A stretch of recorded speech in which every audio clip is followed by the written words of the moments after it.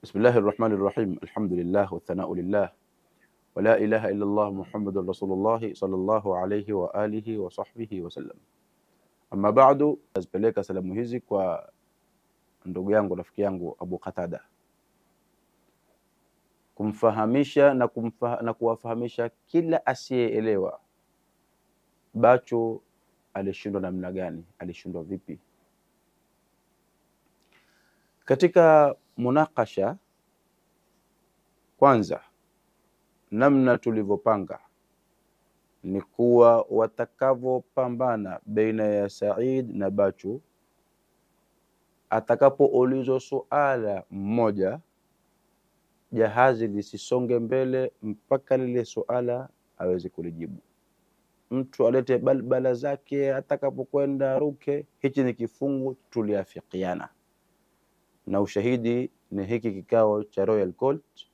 Msikilize huyu Abdallah Omadi Adi namna alivyong'ang'ania kifungu hiko kipatikane. Eh, kuna yatokezea mimi nikuulize swali hapo, kisha wewe usijibu swali, uzunguke mpaka umalize dakika. Kwa hivyo mwenyekiti ana haki kwa bwana, ile swali hujalijibu, umezungumza lakini hujalijibu. Ile swali liliulizwa ni ulijibu, lakini kuna kuzunguka, uzunguke, uchanganye, kisha ile swali lilikujibika. Kwa hiyo nidhamu ni kwamba ukiuliza swali ulijibu, kama hukujibu utakuwa utaregeshewa tena kwamba ulijibu ile swali. Sasa Said kama mimi nakubaliana na wewe kwamba hii hadithi ambayo kwamba yathibitisha haya kwa, wanyama kutemka katika mimba ya Bwana Mtume Muhammad alayhi salatu wasalam, hadithi ambayo kwamba iko mmojawapo inayothibitisha hiyo ni hadithi dhaifu munkar. Lakini suala ninalokuuliza wewe ambalo ndio mada iliyotukusanya hapa, mada iliyotuleta hapa sisi, tumeafikiana toka Royal Court mpaka kwenye mitandao ya Alhajar na Alihsan iliandikwa kwamba tutaja kuzungumza urongo wa alimamu Albarzanji. Wewe wathibitisha kwamba Alimamu Albarzanji ni mrongo katika maulidi yake. Sasa suala ni itifaki gani ya wanavyoni wa mustalahi uh, mustalahi ilmu alhadith eh? mustalahu alhadith, itifaqi gani kwa wanavyoni imepatikana kwamba mwanachuoni yoyote akitumia makala akayaandika kwenye kitabu chake yale makala yakitizamwa, dalili yake ni hadithi dhaifu, kwamba yule mwanachuoni aitwa mrongo. Kisha ukasema na huyu mwenyewe yasema kuwa na hii hadithi ni munkar. Sharti unaambie hii ni munkar, lakini yatumika. Takutaka hapo, ukinikubalia kwamba ni munkar, takwambia munkar mbovu. Sharti unikubalie uniambie hii ni munkar, lakini yatumika. Tukae hapo sasa, munkar hutumika kweli? Ulivyoniregeshea nikakushika vizuri, nikakwambia kweli hadithi ni munkar, na mimi naitoa hii hapa. Nikasema dalailu nubuwa, nikaelekeza safha ya kitabu, nikasoma hii ibara, anna kulla dabbatin kanat liquraishin nataqat tilka lailata. Tumefahamiana sio? Nikasema hadithi iko na nimekubaliana na wewe hivyo ulivyosema kuwa ni nini, ni munkar. Nikakurudishia swali Je, kiitifaqi ya wanazuoni wa mustalahi lhadithi, mtu anapoleta hadithi ambayo kwamba ni munkar katika aksamu dhaifu hiyo eh, isiwe ni maudhui, je, mtu ule alioleta hadithi ile kwenye kitabu huitwa ni muongo? Au pia kwa mafumu yako kile kitabu kile sinadhmi Barzanji huitwa ni uongo? Maanake si ukimbia hiyo Barzanji, kile kitabu huitwa ni uongo? Hujanijibu hilo swali, na mimi nitakuregeshea. Mimi niko hapo hapo mpaka unipatie itifaki ya wanazuoni wa mustalahi alhadithi kuwa hadithi munkar ikipokewa katika kitabu, je, yule aliyoipokea pale aliyoiweka ni mwongo au kile kitabu aliotunga pale huitwa ni mwongo? Hapa alifinywa. Hakuna swali linalosema ni wanawavyuoni gani wa mustalahul hadithi. Hebu tafsiri mustalahul hadithi. Mustalahul hadithi, wanawavyuoni hawa wanazungumzia nini?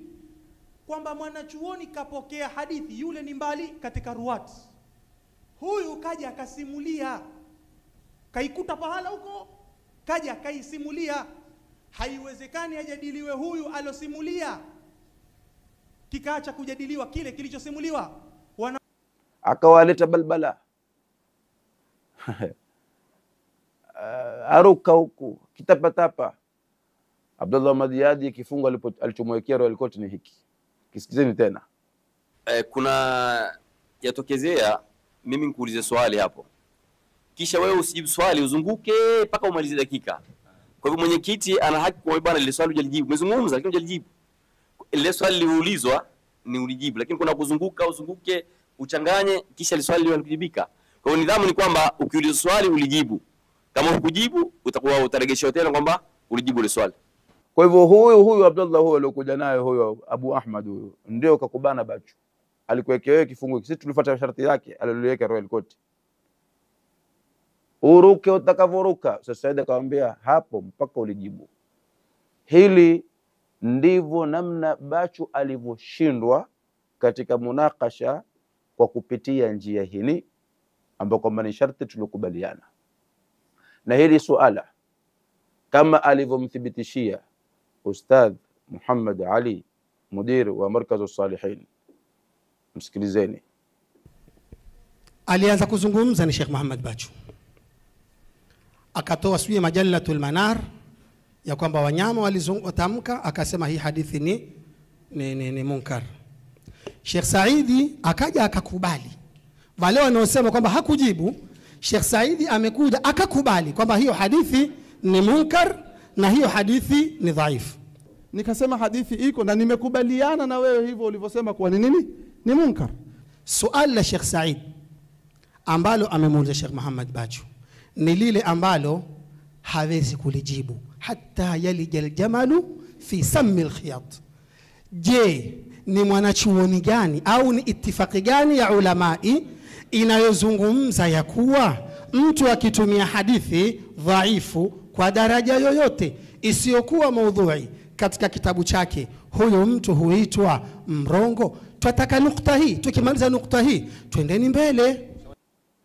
Ibara hii ni hata yalija ljamalu fi sami lkhiyat, mpaka ngamia apite kwenye tundu la sindano, ni kuonesha kwamba Bachu aende kwa mwanachuoni yoyote wa Kiwahabi toka Zanzibar alipotoka, apitie da aruke aje Tanga na hapa Mombasa. Sijui alikuwa kwa daktari gani, alikuwa kwa daktari tunayemjua Mombasa, aende akakutwalishe mpaka vitabu vyote vya mustalah alhadithi akumalizie. Na hivi sasa lillahi alhamdu, kama unavyoona hapa nilipo, nipo katika sehemu maalumu iliyoandaliwa kwa ajili ya kujisomea somea, alhamdulillah, kwa ajili ya kukamilisha maandalizi ya mwishoni mwishoni kwa ajili ya munakasha huu. Hili jibu Bachu hutokuja nalo. La pili ambalo lilimfanya Bachu aweze kulemewa kabisa ni kwa sababu aliyoandamana nao kuja katika mjadala, katika usomi maskini wote walikuwa hawako, toka kwa Abdullah wa Madiadi na mwisho wa kusha kwenye kikao cha kuliwazana wao mpaka wakatoka hapo wakaenda liwaza. Kikao cha kuliwazana, natija zilizotokea ni hizi. Kwa ufupi, walimwengu mmetuona nyote, alhamdulillah. Na katika mafhumu ya Bwana Mtume sallallahu alaihi wasallam ashasema, kul jaa alhaqa wa zahaqa albatila inna albatila kana zahuka. Ndio hivyo, haki itadhihiri na uongo Aya katika Qur'ani wakaisema ni hadithi, na hiyo aya yenyewe wakaisoma makosa. Msikilizeni huyo. Kwa ufupi, walimwengu mmetuona nyote, alhamdulillah. Na katika mafhumu ya Bwana Mtume sallallahu alaihi wasallam ashasema, kul jaa alhaqa wa zahaqa albatila inna albatila kana zahuka. Ndio hivyo, haki itadhihiri na uongo Nadhani hata Bachu mwenyewe pia uso aliukunda hapa. Naona Ustadhi Isa pale, huyu jamaa aliposoma hii aya kimakosa na akasema ni hadithi, akakuja Kwa ufupi, walimwengu mmetuona nyote, alhamdulillah. Na katika mafhumu ya Bwana Mtume sallallahu alaihi wasallam ashasema, kul jaa alhaqa wa zahaka albatila inna albatila kana zahuka. Ndio hivyo, haki itadhihiri na uongo Sasa kwa kuwa alikuja na timu hii Bachu, ambao kwamba walikuwa hawawezi kumsaidia angalau kwa kumwambia bana, eh, hapa hii kujibiwa hivi, ndio mimi nikakwambia Bachu, hivi ulivyoshindwa wewe hapa katika suala hili, hii ni sharti uliwekewa. Nikirudi kwa rafiki yangu Abu Qatada, klipu uliitoa jana ya kuwa tatizo ni kutopatikana itifaki katika mada. Jambo la kwanza ni kuhusu huo mjadala, mada haikupatikana itifaq ya mada ya kujadiliwa. hapo umeenda namba mbaya, umekosea kabisa. Yani ni afadhali ungalinyamaza kimya, muongwana akivukwa na nguo basi hututama, hajitokezi akajiazirisha. Rudi katika kikao cha Royal Court, rudi katika mtandao wa Alhajara yenu ya Kiwahabi. Mada ilivyoandikwa ni urongo na shirki na bid'a sijui ya Alimam Jaafar al-Barzanji. Sasa ukisema haikupatikana itifaq, itifaq, itifaq, itifaq gani? Hakupatikana itifaq kukubaliana katika mada. Mimi nakwambia ikiwa hukuelewa hayo, sisi uwanda bado uko wazi, Abu Qatada, na mimi na marafiki, tuzungumza katika mambo mengi sana, hatuteti. Ndo tukubaliane katika mada ni ipi? Kisha ikiwa takuwa ni Bachu, ikiwa utakuwa ni wewe, Ustaz Said bado yuko. Sisi mashekhe wetu hawajitoki tena, hizi balbala za Bachu na wafuasi wake hatutawasumbua vi, hatutawasumbua vitu mashekhe wetu, huyu huyu Said. Na ikiwa Said tumemwona pia si klasi yenu katika first 11 ya wajinga Bachu mmojawapo pia Ustaz Said tunaona kama tutamvunja heshima yake, tutaangalia wa chini kabisa, chini ya Ustaz Said tutakuwekea pale, lakini ndo tufanye tena itifaki katika mada, ikiwa umeona itifaki haikupatikana.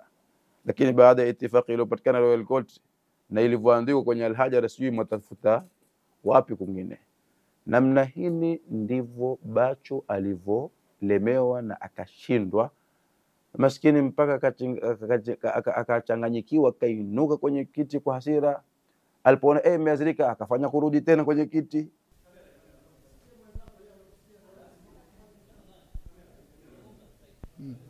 Na tumesikia maneno marefu na na mwamwona yuaondoka yuakimbia inshallah, na sisi hili tulikuwa twalitarajia sana, hili lilikuwa atakimbia kwenye hii meza. Mimi niliahidi watu huwa atainuka mwenyewe kwenye hii meza. Akiwa yuainuka, mwacheni hapa, akirudi ni elimu, hapa akirudi ni elimu. Kisha waliokuweko pale, wallahi tulisikitika sana namna alivyokuwa huyu kijana, hatukumdhania kwamba alikuwa namna hiyo.